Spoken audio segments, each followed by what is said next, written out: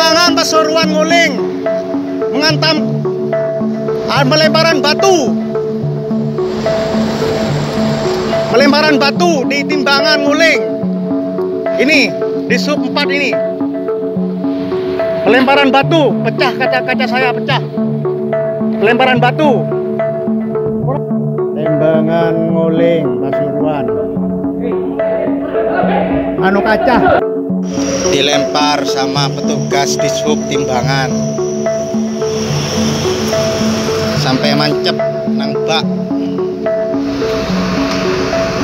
Sama besi. Pecah kacanya pecah. Pecah dilempar.